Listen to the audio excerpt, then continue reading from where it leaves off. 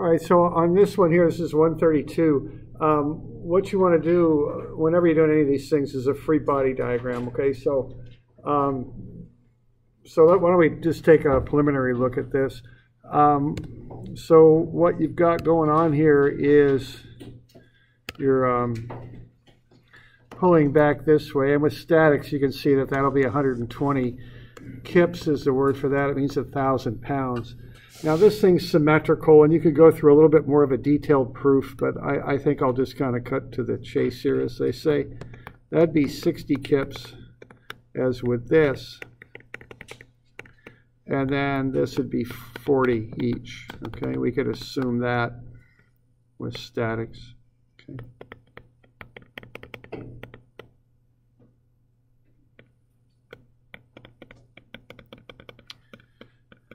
So, so that's where I'd start, would be that, okay? Everyone good with that? All right. Now, what you're looking at here is the, uh, is the pin there, or whatever that is, the bolt. Okay, it's got a one inch diameter. And what you want to do next is figure out what the forces are in the bolt.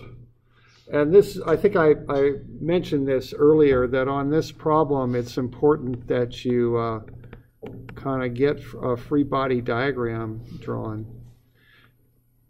Okay. So what we've got here then is uh, 40, 40, and 40. And then pulling back the other way is 60 and 60. So that's what's going on with that bolt, and that's being held in equilibrium you notice that distributing the forces that way shows it's in equilibrium uh, both in the x direction and also if you do any sort of moments, I think those would balance out. All right, so now you've got that. Um, you've got these four points that you want to analyze, A, B, C, and D. So to analyze those, you do um, what I've mentioned here a number of times before, is you make cuts through the point you want to analyze. So this is a little bit more complicated than the ones we did in class where it's not quite so symmetrical. So you want to be kind of conscientious about how you go about analyzing this one, okay? So if you want to find what's going on at A, you would um, make that cut right there through A. And what you'll have then is the head of the bolt, which you know we don't care so much about, but then we got where we made that cut. And what's going on there is 40 kips and then what you've got going back this way is the shear at A. So if you go sum of fx and set that equal to 0, you're going to have minus 40 kips plus the shear at A. So you can get the shear at A is 40 kips, otherwise known as 40,000 pounds. Okay.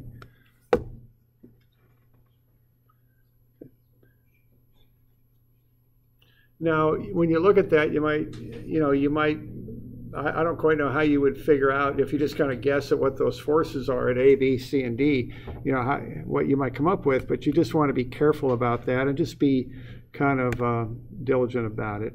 Okay, so if you want to find out what's going on at B, you make this cut here through B, and I would take the top of the bolt, okay, and what I would get in that case would be something like that and I've got 40 going this way, and then I got 60 doing that, and then I've got the shear at B, okay? So sum of fx is 0, and that would be minus 40 plus 60, and then as I have it drawn, minus v sub b, so v sub b will be 20 kips there, 20,000 pounds, okay? You, you all with me there? So this is an example of that idea I've gotten across a couple of times now that you want to, we, we deal with free body diagrams. We start by getting all the forces that act on the object. Then to, what we're really after in this class are the internal forces. And the way you find them is you make a cut through them.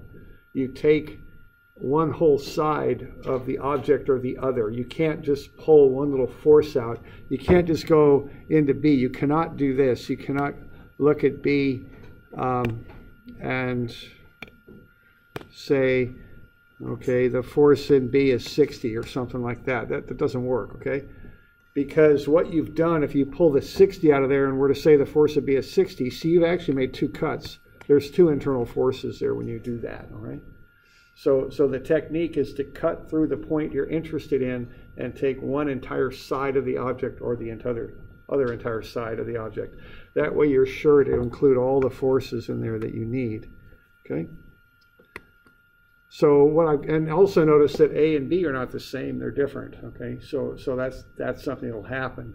You might want to have a look at C and D also, and just and look at those.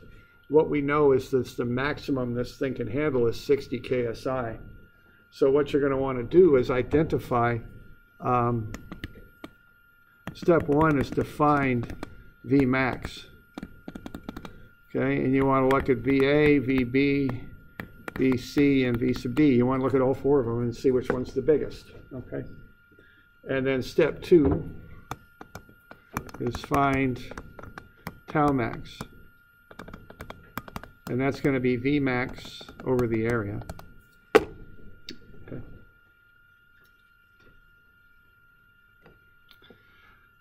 So there's an example of, of this idea of free body diagrams and, and how, how you approach that and, and why it's important. So, we got any uh, questions on it? Yeah. For the area, you just do the area of the, uh, the second point. Yeah, right. It's just cross sectional area of the bolt. So that's what you want there because that's what resists that force. You know, if it fails, it'll fail straight across that cross sectional area. So you'd use the area of the bolt.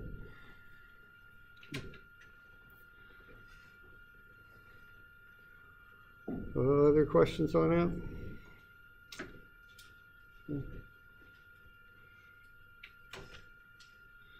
All right. Okay, this one is a shear strain deformation problem, very similar to what we did on page 200, so I'll probably just let you figure that one out. I don't know if there's any questions on that. You know, I showed you that shortcut formula. You can go through the long process that we did yesterday or use that shortcut formula. If you do use the shortcut formula, be sure that you're using G, not E, okay? What you want is G on that, okay? Any questions on that bit?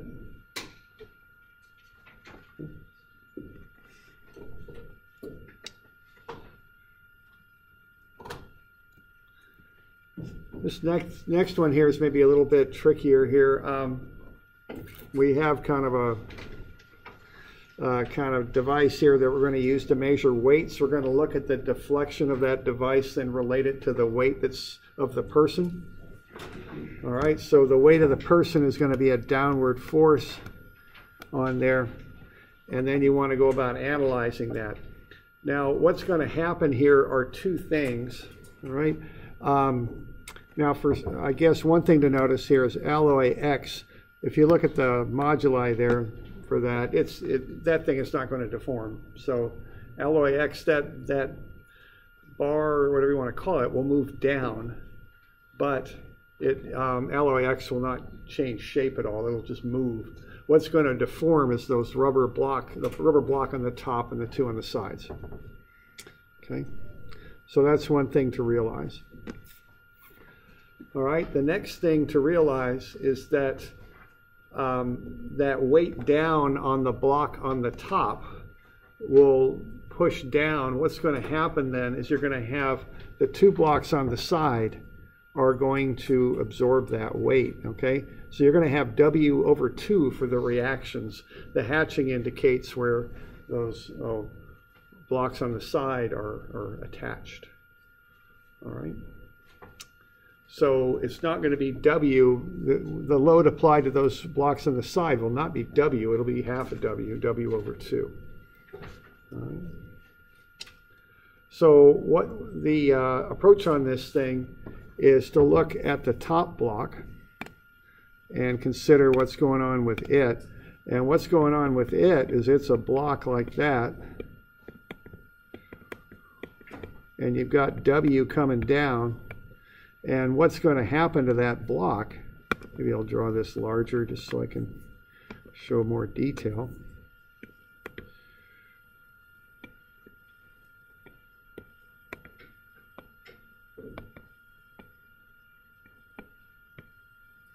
So there's W.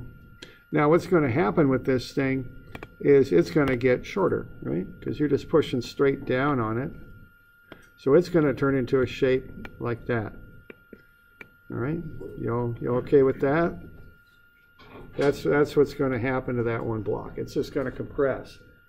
If you kind of relate it to what we were doing yesterday, what what kind of stress do we got going on there? Is that, is that axial or shear? It's axial, right? Okay. But we got the other two blocks too, so I guess we could call this delta uh, axial, all right? Now we got the other two blocks as well.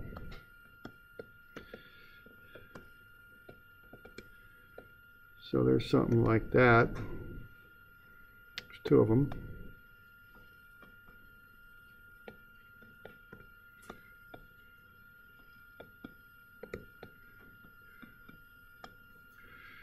All right, now what's going on with those is you've got these forces coming up, and that's W over 2. These are the reactive forces. So, of course, the applied forces are half of that. I mean, not half of it, but that's they're equal to the reactions. And what's going to happen to these things? They're going to kind of go down like that, aren't they?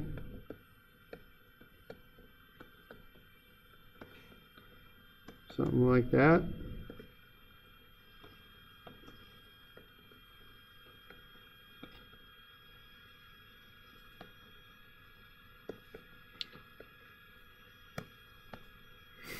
So what kind of delta do we got there?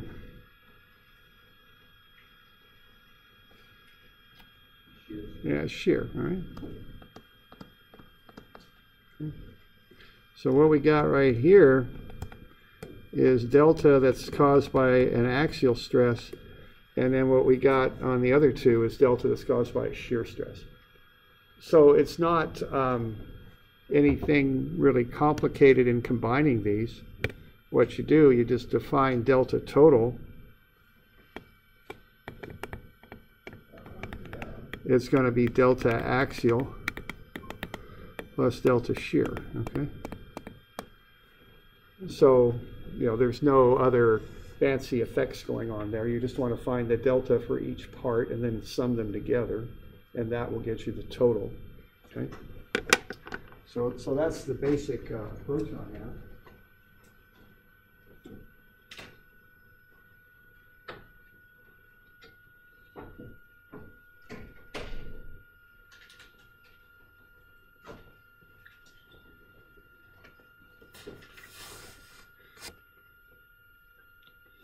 All right, so so we good with that? We got any questions on what's happening there? Okay, you're going to add those two things together and get the total.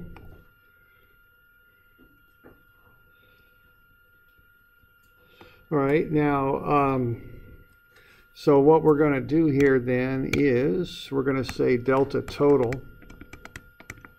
is equal to delta axial plus delta shear. So delta total is going to be what? PL over AE plus VL over AG. You okay with that?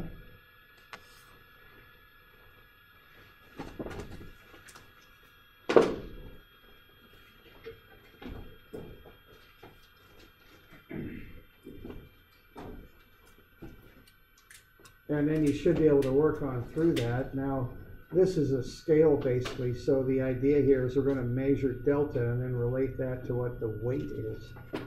So, you know, you'd want to uh, get that kind of figured out here. Um, let's see. So what I got when I work through this is delta total ends up equaling um, 0.000 283 times the weight.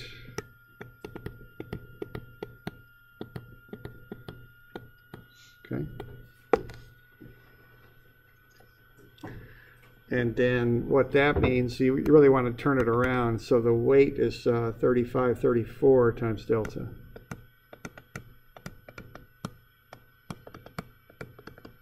Okay. Something like that.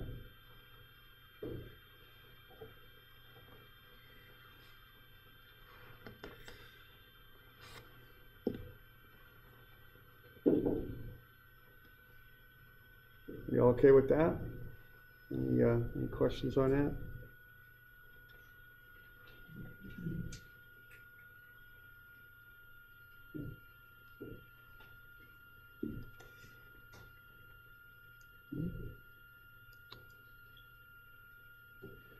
So, uh, so that's that one. So that's just a combination of the two. You just want to be able to kind of visualize what's going on there. One thing is the split in the weight, and the other is the fact that uh, total delta is just the sum of the delta on the block on the top, which is axial, PL over AE, plus the delta of the blocks on the side, which is VL over AG. Okay.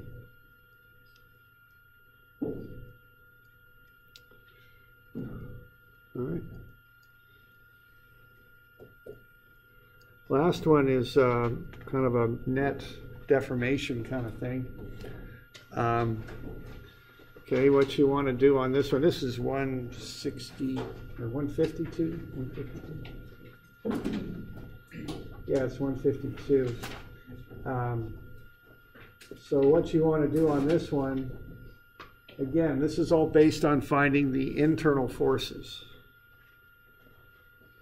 So you want to, uh, I usually get start off by getting the reactions. So if you got 8, 12, and 6 pushing those different directions, you can get RA, which is 2 kilonewtons to the right. So that's 2,000 newtons. Okay, then what you would do would be to start cutting those free body diagrams through the points you want to find the stresses in, which what I just did right there was, was that. So I've got 2,000 newtons pushing to the right, and I've got that internal force in AB pushing to the left. So that comes out to be 2,000, and I don't think that's tension. That looks a lot more like compression to me, so it looks like I got an error right there, but I think it all comes out. I think it's just a typo. Okay. There we go. So that's compression. All right. See, what's going on there is I assumed it's going to the left. My answer came out positive, so the positive answer means it does go to the left, and that's compression. So that's compression there. Okay. All right. And then you'd want to be doing the same thing for the others, for uh, BC and CD. And then what you do is you just run that basic formula that delta is PL over AE. So I just like to do these in a table and just get everything organized there. So I've got P in newtons, L in meters, the area in square meters, just pi r squared. I give you the diameters of the shaft at those different locations. And then E is newtons per meter squared. So notice I'm in standard units there, so my answers will come out in meters. Okay. So what I get when I do that, I'm going to have to do this three times, once for AB, once for BC, once for CD, is negative 0.001023, positive 0.005002, and negative 0.009452. Those are my deltas. Now what that is, is the delta of each section. Okay, so to get the delta of a point, you start at your reference, which is over here.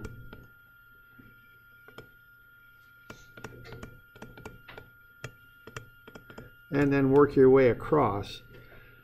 So you can get um, delta B, it's just the answer you calculate, the negative 0.001023 when you run the PL over AE, negative because it's compression. So what's happening is this one's shortening up a bit. It's getting shorter. Not nearly this much, of course, but it's getting shorter. Um, then what's happening is the other one is getting longer. Okay, you'll notice the other one's in tension, so it gets longer. And then the last one gets shorter again, okay? So what you're doing is you're adding up these cumulative effects as you work your way from A to the right to D. So you can get B first, And then you can get C, which is the sum of A and B, or excuse me, AB and BC. And then you get D, which is the sum of A, B, B, C, and CD. Okay? And you're just accumulating these deltas. Okay? So you just kind of sum them up as you work from your reference point to the right.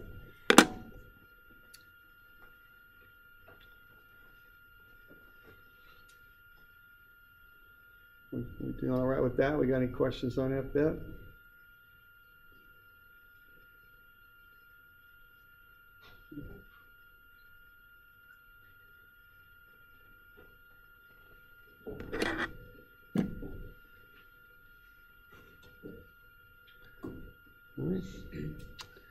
So that's a bit of a run through that stuff. Let's do tomorrow. Okay, good? Hmm?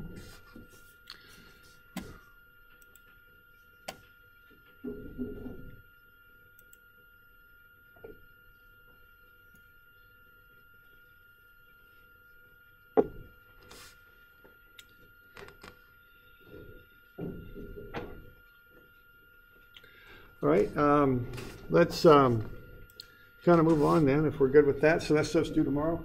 Okay, what we're gonna do next here is stuff that's statically indeterminate. Okay. So, um, you know, you've all had statics and gone through that, and you probably know a few things about that now. Um, so let's, uh, let's see if we can go beyond statics. Because statics is limited. You can only solve for so many unknowns when you're doing statics. You, you, you, you know, you've got a limit on how much you can solve. So I'm on page two twenty, is where I'm at.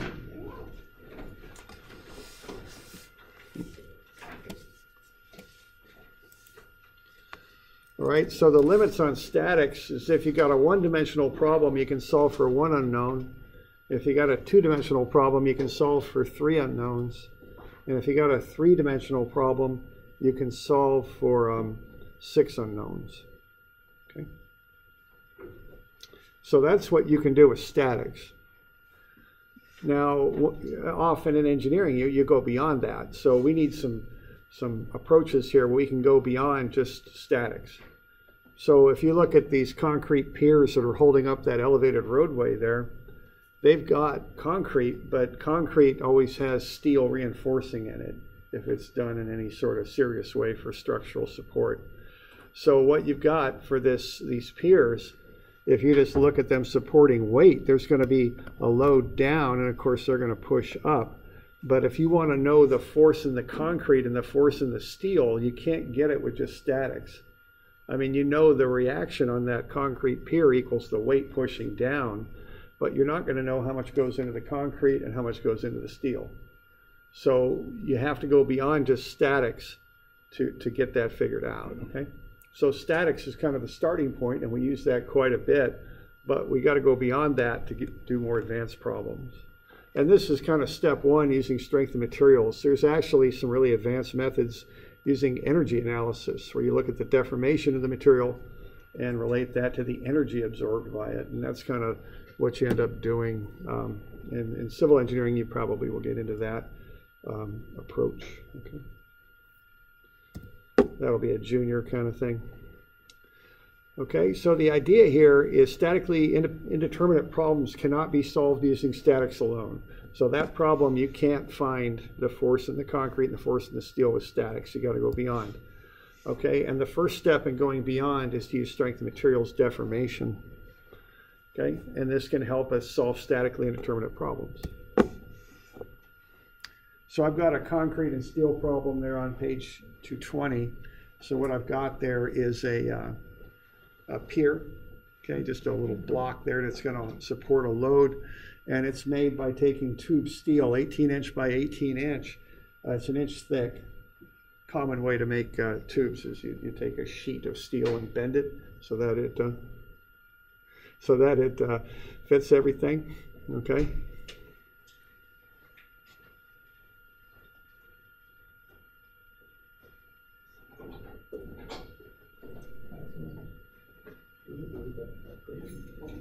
Oh, oh, there.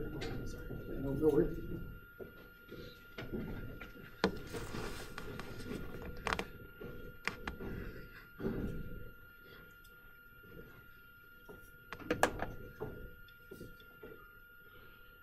Okay, um, all right, so we've got a, a, a square tube there of steel, and often on these columns, they'll stiffen them up. They'll put uh, grout in them. They'll pour uh, concrete into them to stiffen them up.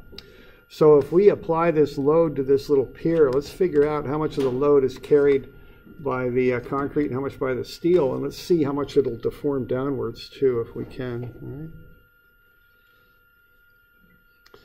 All right. So we, we always want to start these off by just doing some basic kind of stuff here. I'd like to find the area of the concrete and the area of the steel. Um, so what I've got there is the concrete. See that steel is made out of a plate that's an inch thick. Um, so that'll take two inches off of that 18, an inch on either side. So I got a, a square area of concrete at 16 by 16, which is 256 inches squared. Okay. Now the area of the steel is that total area, 18 by 18. Take away the area of the concrete, you get 68. Okay. So that, that's what I'm doing there, is working through it in that fashion. So that gets me the areas. You know, I've got the uh, allowable stresses there for steel and concrete, and I've got the moduli there for steel and concrete too. Right, now the first thing I would do on these kind of problems is run some statics. And so we'll just go sum of Fy, set it equal to zero, and that's going to get us a pretty obvious conclusion here. Um, that we get the load in the steel plus the load in the concrete. When you add them up, you get 70,000. That's what's pushing down. We're going to assume that that 70,000 gets spread out between all the materials evenly too. Okay. All right. So, so there we go. So the, the, the statics is equation number one. You always want to run statics and kind of get, you know, kind of a baseline, and that's what we got there. So I, I expressed that as a load in the concrete is 70,000 minus whatever the load in the steel is.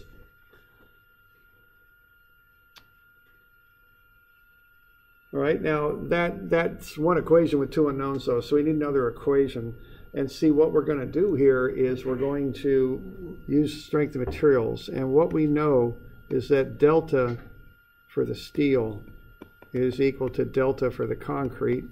And what that is, is PL over AE.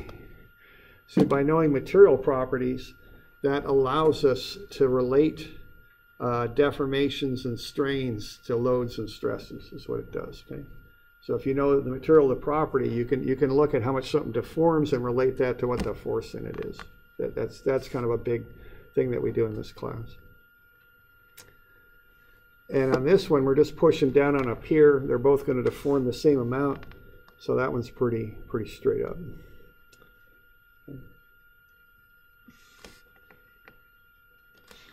So, um, did I write all this stuff out for you on your handout or no? I didn't, did I? Okay. Hmm. All right. Well, let's let's have a look at it then. All right. So what we know here is that the load in the steel is 70,000 minus the load in the concrete, and the load in the concrete is 70,000 minus the load in the steel. I can express it either way. And then with the strengths, I know that delta times the load in the, uh, or delta steel is delta concrete. They both have the same delta. Okay. So I'm right, uh, right there. Now, of course, I know what, I, at least I don't know everything, but I know a few things about PL over AE for both materials. I've got P, A, and E. And, excuse me, I got L, A, and E. The load is what I don't know, but I know everything else. So what I can do then is I can say the load of the steel times its 30 inch length divided by its area divided by its E is equal to the load in the concrete times its 30 inch length divided by its area and divided by its E. Okay, those are the deltas. And I know the deltas are equal, so those two expressions are equal. And then I can just work through those. Okay, so when I do that, I get 0.0152 times the load in the steel is 0.0651 times the load in the concrete. And then I can either divide through by 0.0152 or by 0.0651. I can do it either way. And if I divide through by 0.0152, I'll get the load in the steel is 4.28 times the load in the concrete. And if I divide through by 0.0651, I get the load in the concrete is 0.234 times the load in the steel. If I'm actually solving this, I don't have to run it both ways. I'm just showing you how you, know, how you can do it either way, is all. Okay. So by using the delta stuff, I'm getting a relationship between the loads, and that's the second equation for the two unknowns, see? So that's equation number two. So now I can go ahead and work the two equations together, and I can go ahead and find what these loads are, okay? So I know that the load in the concrete is 70,000 minus the load in the steel. And if I take that times 4.28, I'll get the load in the steel. Similarly, I know that the load in the steel is 70,000 minus the load in the concrete, and that's 0.234 times the load in, or excuse me, the load in the concrete is 0.234 times the load in the steel. So I can work through those now because now I got on either side, I got one equation, one unknown. I can solve for the load in the steel, it's 56,742. And I can solve for the load in the concrete, and that's 13,258. Okay. And when I add those together as a check, I get 70,000. So that all works out. Okay. Pretty good.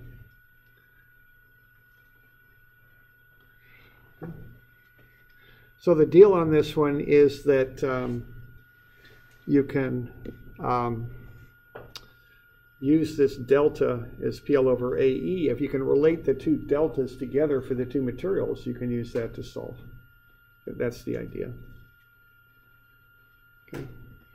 So now I know if I load that pier up, as I just showed there, I know how much of that load will go into the concrete and how much will go into the steel. If I push down with 70,000, the steel is going to push back up with 56,742 and the concrete will push back up with 13,258. So that's how that load gets distributed between the two materials.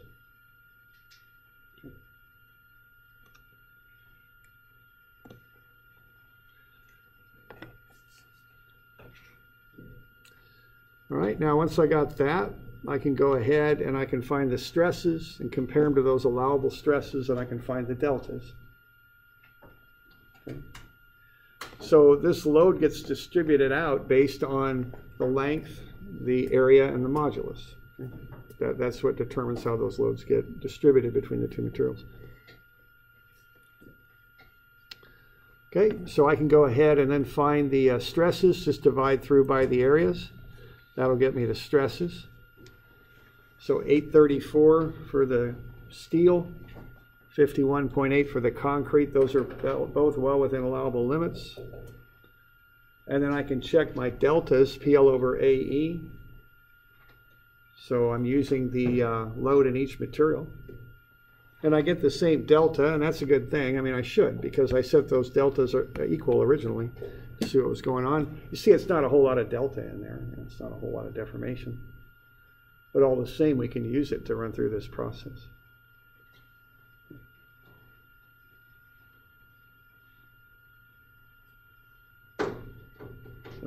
So, we doing all right with that?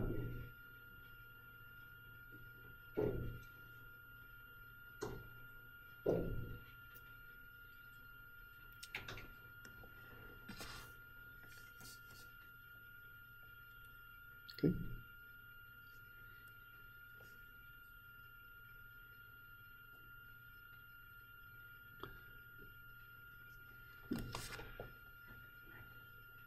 So that's a straightforward example. You're just pushing on the thing and they both deform the same amount. Now, like things do, these can get trickier. Um, you know, that's just kind of how, how things are. But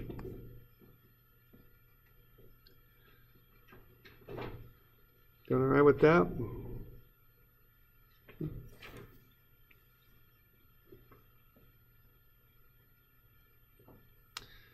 Now the next one, we got a little bit trickier situation. We've got a hydraulic press pushing down on three posts. The posts have different lengths. There's also a little bit of a gap in there or a little bit of an extension on that press. So that's going to make the deltas a little trickier getting those figured out. Okay.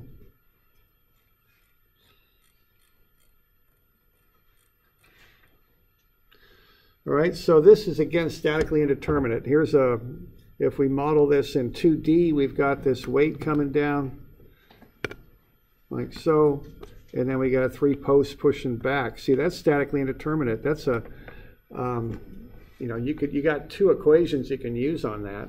Sum of Fy is zero and sum of moments is zero, but that's it. I mean, now there might be some ways you could kind of figure this out, and I might take some approaches to do that, but, but let me show you kind of the, the analytical sort of way of doing this, all right? So what we got here is we've got uh, not a gas station uh, awning there, but we've got a hydraulic press. We got it's going to push down on three posts. All right, and I think this one I got partially filled in for you. So I went ahead and found the areas of the posts. Right there and there. The AB and EF are symmetrical, CD is longer. We've also got that little bit of an extension on the press. So let's figure out the forces and the deltas here, okay? All right, now when I'm doing this, I start with statics. So I'm just going to go sum of Fy and set that equal to zero. So that looks an awful lot like negative 320,000 plus PAB plus PCD plus PEF. Okay, so those three added together equal to 320,000. And then I'm also going to take a moment about C and set that equal to zero. So I'm just doing all the statics I can just to kind of get as lined out on that as I can. Statics is usually a little simpler, and I want to start with that to get my basic relationships figured out. So what I've got there is that the sum of the three loads is 320,000. Okay. And also, if I take moments about C, being as AB and EF are symmetrical about C, their forces are going to be equal. So I know that PAB equals PEF, and I know that PAB plus PCD plus PEF is 320,000. That's, that's kind of my baseline information that I start with, okay? Now, once again, I want to go with some strengths here. And I'm going to, to do that, you relate the deltas together. So this is kind of the standard drill on this, okay? Do the statics first and then relate the strengths to it. And what I know is delta is PL over AE. So that, that's kind of my, the stuff I work with. Now the thing is on this one, I'm going to have to figure out some stuff about delta. Okay?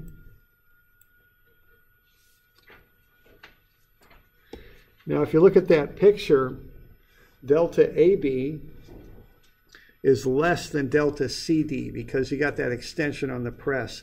That's going to push down CD 2.1 centimeters more than it will AB or EF.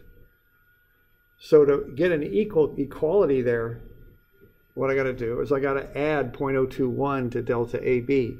So delta AB plus 0.021 meters is delta CD because delta CD is 2.1 centimeters greater than delta AB. That, that's what's going on there. Okay. Now the other bit is pretty much the same. It's um, PA, it's P, PL over AE to get the deltas. Okay.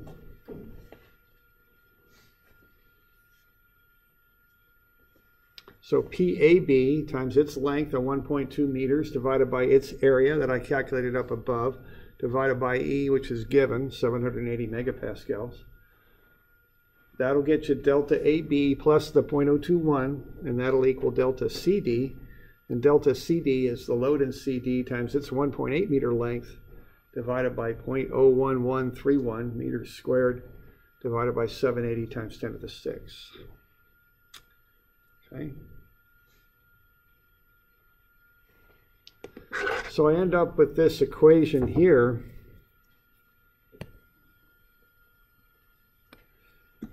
I don't like equations like that. I got all those exponents and stuff. So what I do, I pick out the smallest one, which is 0.204 times 10 to the minus 6, and I just divide everything by it. That'll clear that fraction. That'll get me into a little bit more usable form of the equation, at least from my perspective. I can work with it easier. So that's why I'm doing that. And so I clear the fraction on the right, so I just get PCD. If I got 0.3061 times 10 to the minus 6, and I divide it by um, 0.204 times 10 to the minus 6, I get 1.5 PAB. And if I take the 0.021 divided by 0.204 uh, times 10 to the minus 6, I get 102,941. So there's my equation number three. Okay. So I just did a bit more strengths, a little bit trickier here because I got this little difference in the deltas right there. Got to include that. So there's, you know, if, if the deltas equal each other, they're pretty simple to do. Sometimes you have to analyze the relationship if they're not, okay, and, and come up with some expression to relate the deltas together. However you do it, you want to relate the deltas together is what you want to do.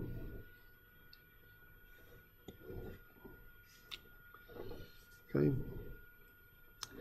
Now I know that uh, PAB plus, um, let's see, PCD, and PCD is one and a half PAB plus 102,941. So what that is, that's PCD right there. And then plus PEF, but PEF and PAB are the same. So what I, when I plug everything in, I get one equation with one unknown, and I can solve for PAB. Okay. So PAB plus one and a half PAB plus 102,941 plus PAB is 320,000. Collect terms, I get three and a half PAB plus 102,941 is 320,000. Okay. All right, and I can just go ahead and solve that out, and I'll get PAB is 62017. Okay, and that's PEF also, they're equal. Okay. So this one's a little bit trickier. It's got a little bit more steps, but it's the same idea. I start off with statics, then I incorporate my delta as PL over AE relationship from strengths and, and equate the deltas together. Okay.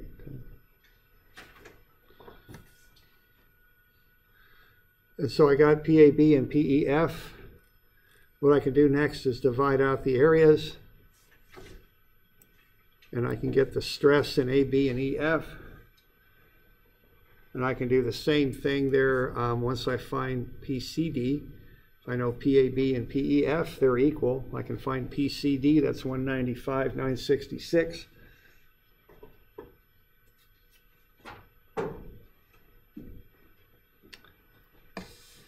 Okay, so what I can do with that is I can um, find the stress in CD also, and then I can find the deltas, okay? Once I got all the forces, the rest of it's pretty straightforward. All right. So the stress in CD is just the force divided by the area. It's a 17.3 megapascals. And then I can go ahead and solve for each of the deltas. Uh, the deltas are PL over AE. Okay and they come out to be 0.019 and 0.04, which is good because I got 4 centimeters for delta CD and 1.9 centimeters for delta AB, and I know they're 2.1 centimeters different, and so that, that works just fine. That checks out. So finding all those deltas often serves as a check on your work, just to you know be sure that you uh, you don't have any errors in there. Okay.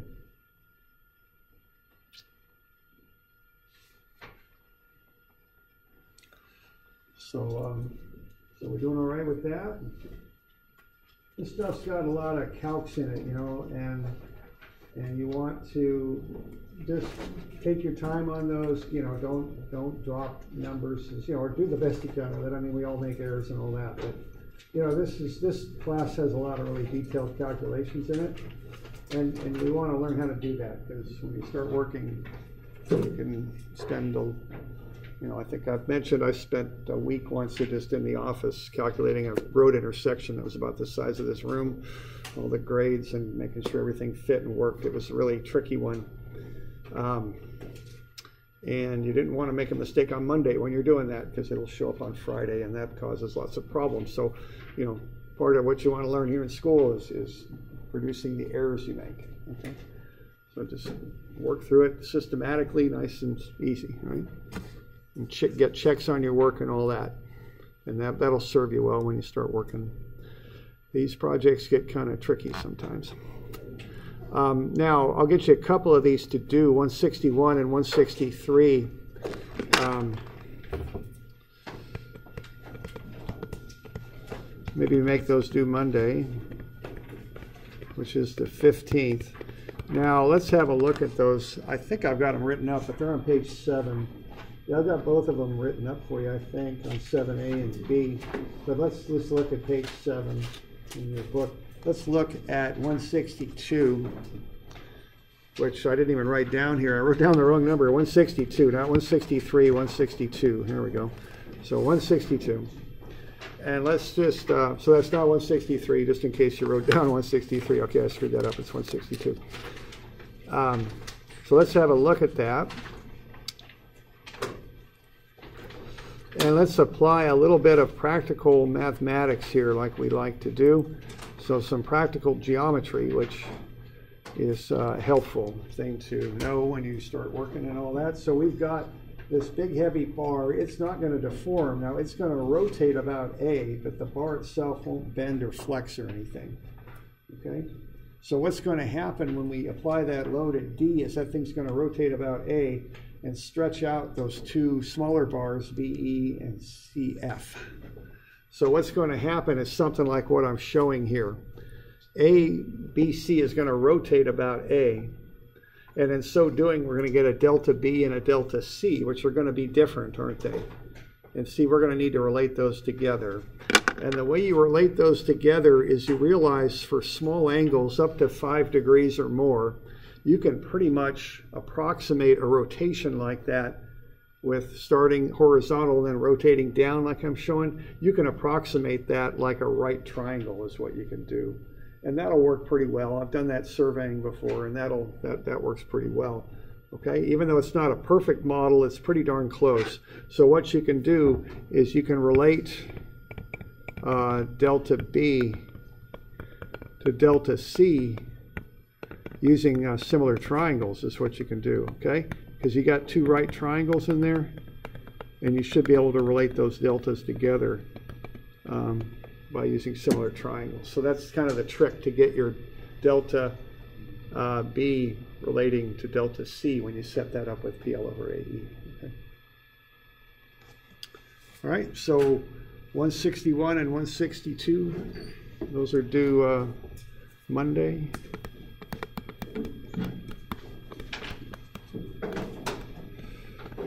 All right, well, there we go.